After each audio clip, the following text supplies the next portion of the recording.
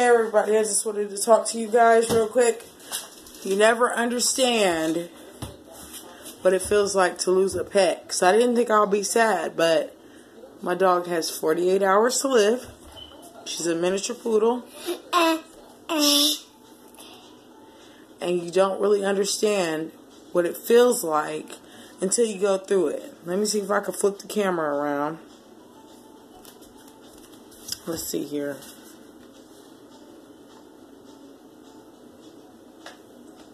Move Daisy. Well, I can't flip the camera around, but let me show y'all. Her name's Eon. She's a miniature poodle. All she wants to do is sleep. And it is breaking my heart. Let me tell you the signs that you know that your dog is dying. She stopped eating 72 hours ago. She stopped eating. All she do is drink water. She throws up water.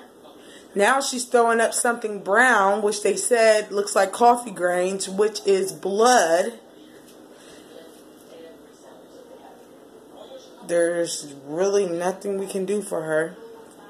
She's taking a Percocet. We gave her a Percocet to calm her because she has cancer and we didn't know that. When dogs have cancer, it attacks them quick. When they have kidney failure, it attacks them quick. When they have diabetes, water diabetes is real.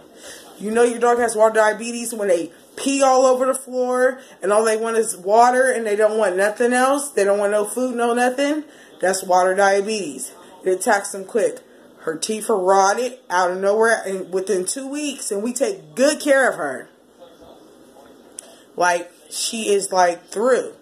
And so now we're just waiting for her to die because the vet's trying to charge us $250 to put her down. No, she can die at home in peace within 48 hours, which I'm cool with. But if your dog starts to pee around the house and they're completely potty trained, you need to be worried. If they start to poop around the house, you need to be worried. If they stop trying to eat their regular food and start trying to eat out the trash, trash can, be worried.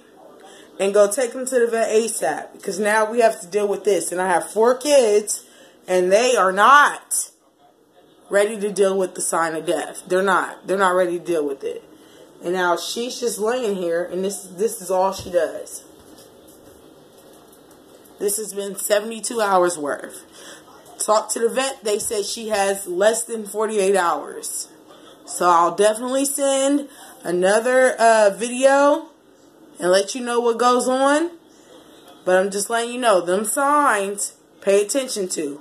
Because if your dog's throwing up a lot, sleeping a lot, trying to stay away from you, peeing in the house when they usually go outside, it's a problem. Or if they stop eating, it's a problem. So pay attention to that.